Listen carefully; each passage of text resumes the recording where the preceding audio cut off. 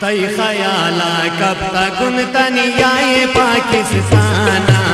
प्या खुदा हाफिज बेकन बिल किशवरे ईराना।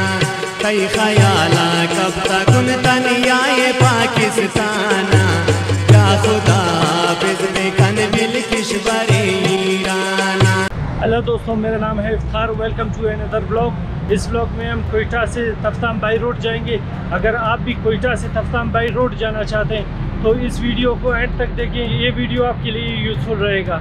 अस्सलाम वालेकुम दोस्तों, सब दोस्तों को एक और व्लॉग में खुश आमदीद। इस व्लॉग में हम बात करेंगे कि आप अपने प्राइवेट गाड़ी में कोयटा से तफ्तांग कैसे जा सकते हैं। रास्ते में कौन से अहम शहर और स्टॉप्स आएँगे और तमाम तर मालूम देंगे जो किसी भी टूरिस्ट या मुसाफिर के लिए ज़रूरी होते हैं, जो अपनी जाती गाड़ी में जाना चाहते हैं। कोयटा से निकलते हुए 15 किलोमीटर के फासले के बाद ये सुरंग, जिसे लखपास कहा जाता है, जो कि पहाड़ को काट कर बनाया गया है, जिससे ये रास्ता पाँच किलोमीटर मुख्तसर हो गया है। ये इलाका खर्दगाब का है आबो हवा कोयटा जैसा है। यहाँ पर छोटे होटल मौजूद हैं, मगर सफ़र लंबा होने की वजह से अक्सर छोटे गाड़ी यहाँ पे नहीं रुकते तो हम भी अपना सफ़र जारी रखेंगे। जो इन नोशकी शहर नज़दीक आता है तो ये खतरनाक चढ़ाई शुरू हो जाता है, जो कि पेच काते हुए नोशकी तक जाता है। यहाँ पर बहुत एहतियात से गाड़ी चलाने की ज़रूरत है। इस चढ़ाई का नाम सुल्तान चढ़ाई है, जो कि जंग अजीम दोम के बाद बनाया गया था।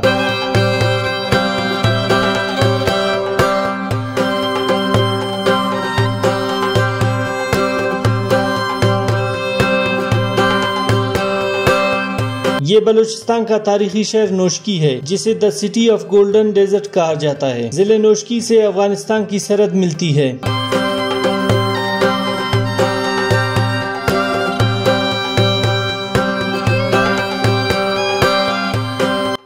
नोशकी क्रास से गुजरने के बाद ये पी पीएसओ का आखिरी पेट्रोल पंप है। इससे आगे तफ्तान तक आपको पाकिस्तानी पेट्रोल नहीं मिलेगा। आल ई में बनाए गए इस पेट्रोल पंप पर आपको मस्जिद, टायर शॉप, रेस्ट रूम मिलेगा और साथ ही अच्छा सा रेस्टोरेंट है। तो आप यहाँ पर भी रुक सकते हैं।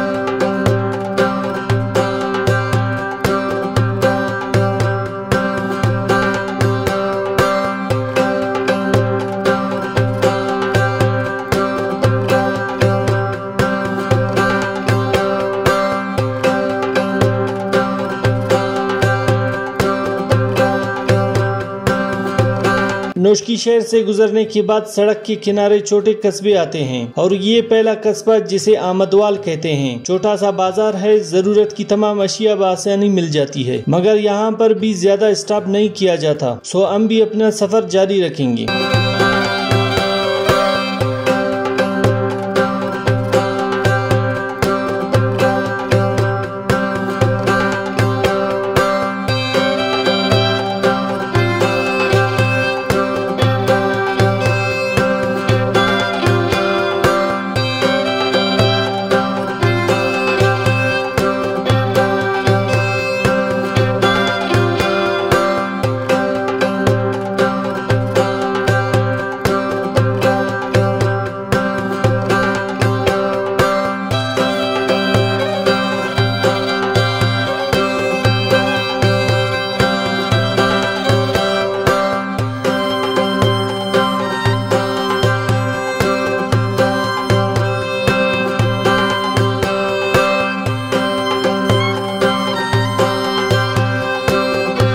दोस्तों आमदवाल के बाद ये इलाका मल का है। इंतहाई जरखेज और सरसब्ज है। बल्क आती हुई सड़क और लैंडस्केप माशाल्लाह बहुत खूबसूरत है। जब आप इस शारा से गुजरेंगे तो बच्चे आपको तरबूज और खरबूज बेचते हुए नज़र आएँगे। इस इलाके की खरबूज और तरबूज पूरे मुल्क और खलीजी ममालिक में पसंद की जाती है।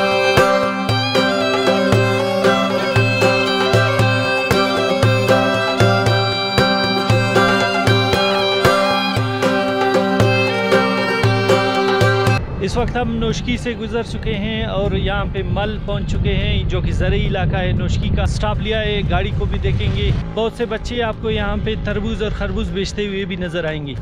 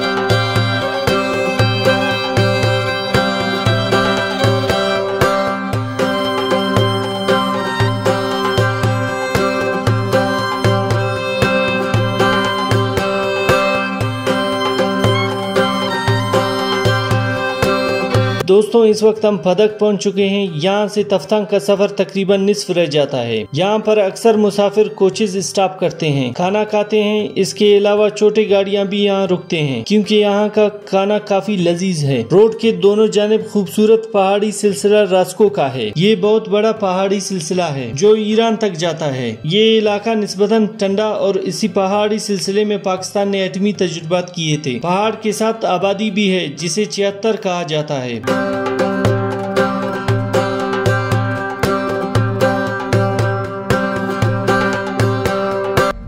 मेरे पीछे आप इस वक्त देख सकते हैं, ये छिहत्तर का इलाका है, जहाँ पे रास्को के पहाड़ नज़र आ रहे हैं, जहाँ पे पाकिस्तान ने एटमी धमाके किए थे।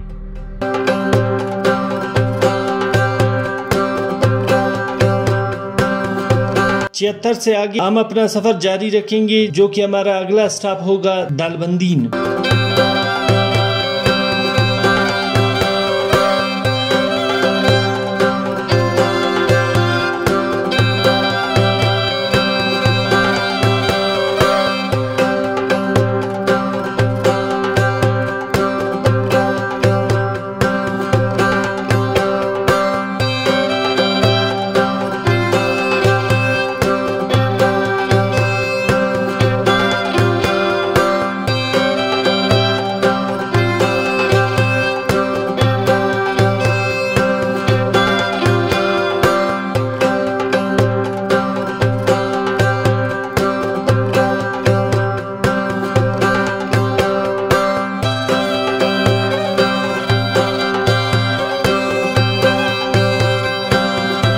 इस वक्त देख सकते हैं जो कि दालबंदी शहर का गेट है। एक छोटा सा शहर, मगर न्यायती गर्म इलाका है और रेगिस्तान पर मुश्तमिल है। यहाँ पर ठहरने के लिए आपको होटल वगैरह सब कुछ दस्तियाब है। यहाँ से अफ़गानिस्तान का बॉर्डर भी नज़दीक है। आबादी दो लाख के करीब है और ये शहर ज़िले चागी का हेडक्वार्टर है।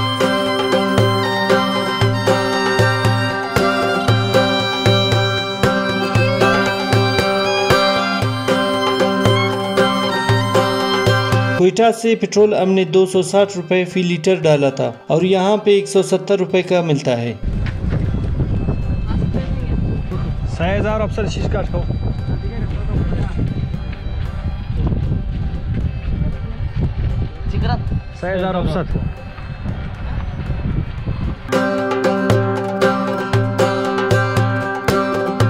इस वक्त हम दालबंदी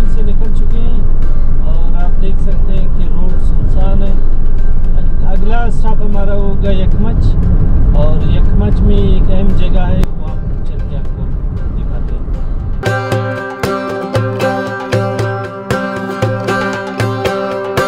हम इस वक्त पहुँच गए यखमच तकरीबन दालबंदी से 80 किलोमीटर। दालबंदी से तकरीबन 80 किलोमीटर के बाद ये इलाका यकमच का है। ये इलाका गैर आबाद है। दूर दूर खजूर के दरख्त आपको दिखाई देते हैं। ये इलाका इस वजह से मशहूर है क्योंकि मलिका नूरजहां की जाय पैदाइश है। यकमच का मानी खजूर का एक दरख्त है। ये इलाका कोयटा और तफ्तान के दरमियान में आता है। तफ्तान शहर यहाँ से 300 किलोमीटर दूर है। इससे आगे का इलाका मजीद गर्म है।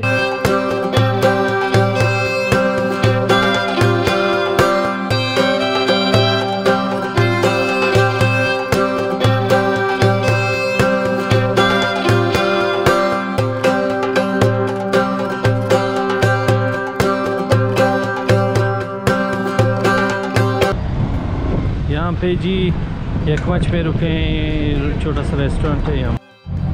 सादा खाना सादा जीवन। उजबक होटल पर हमने खाना खाया। पहले तो हम मोहतात थे कि पता नहीं खाना कैसा होगा लेकिन खाना बहुत ही अच्छा था और सफ़ाई का खास ख्याल रखा गया था।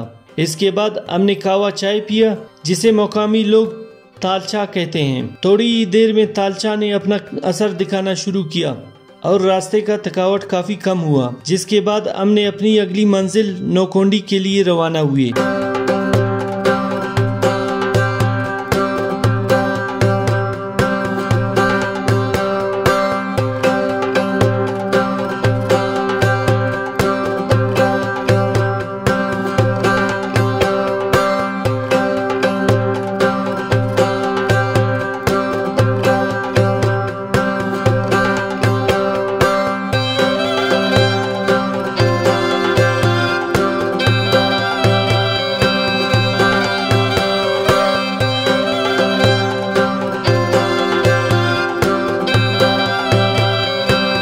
अस्सी किलोमीटर के बाद ये नौकुंडी शहर है। यहाँ पर एक छोटा रेलवे स्टेशन भी है। ये एक छोटा सा कस्बा है, मगर रात ठहरने के लिए यहाँ पर कोई बंदोबस्त नहीं है। यहाँ का पानी बहुत कारा है और ज़मीन इंतहाई पथरीली और नमकीन है। कोई सब्जा यहाँ पर नहीं होता। सड़क के दोनों जानब काली स्या ज़मीन है। ये काफ़ी वीरान इलाका है। यहाँ से ईरान का बॉर्डर भी नज़दीक है और ये कस्बा दुनिया का तीसरा गर्म तरीन इलाका है।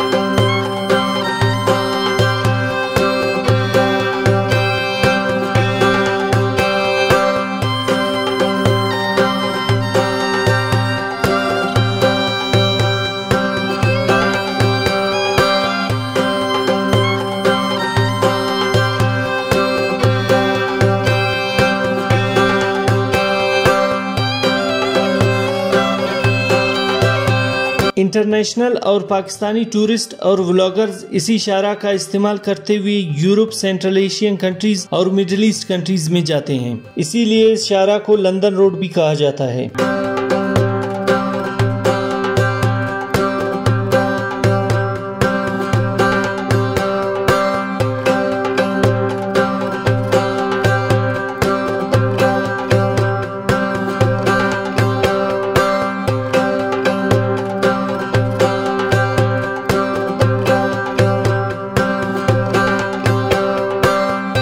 कोयटा तफ्तान से 623 किलोमीटर के फासले पर है और वहाँ तक पहुँचने में 9 घंटे लग जाते हैं। इस शारा को एन चालीस कहते हैं।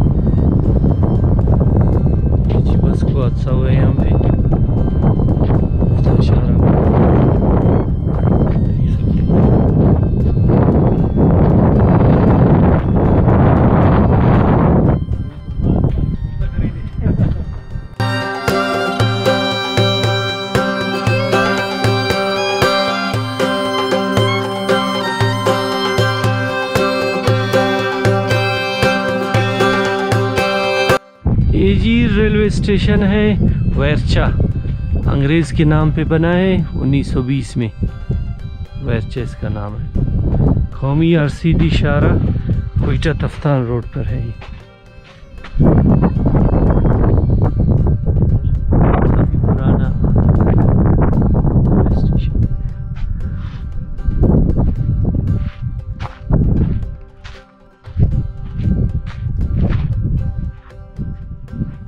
ऊँची दीवारें हैं। गाइस ये रेलवे ट्रैक है। यहाँ पे पानी रेल के ज़रिए आते थे, यहाँ पे डालते थे। और ये सीधा होते हुए यहाँ इस रेलवे स्टेशन के अंदर पानी चला जाता था और वहाँ पे कुएँ में इस पानी को डालते थे। फिर वही कुएँ का पानी लोग इस्तेमाल करते थे। यहाँ से पानी आता हुआ यहाँ पे इस कुएँ में चला जाता था। अब पानी है अरे पानी है। इसमें पानी भी है अभी इस टाइम भी। हमारा एक दोस्त पानी निकाल रहा है इससे। ये है पानी है अभी तक। हाँ ठंडा भी है।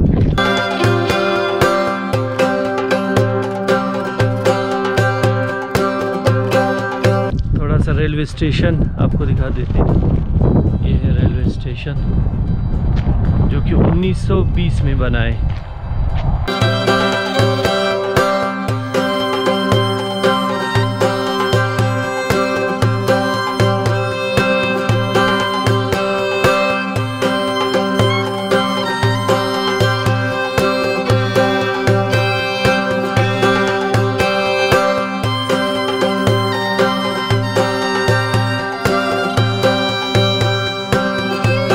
फाइनली दोस्तों, हम तफ्तान शहर पहुँच चुके हैं। रात होने की वजह से आपको शहर नहीं दिखा सकता और वीडियो भी काफ़ी लंबी हो चुकी है। अगली वीडियो में हम तफ्तान शहर घूमेंगे, ईरान का बॉर्डर और यहाँ के बाज़ार दिखाएँगे और आप यहाँ से क्या क्या चीज़ें खरीद सकते हैं मुकम्मल गाइड करेंगे।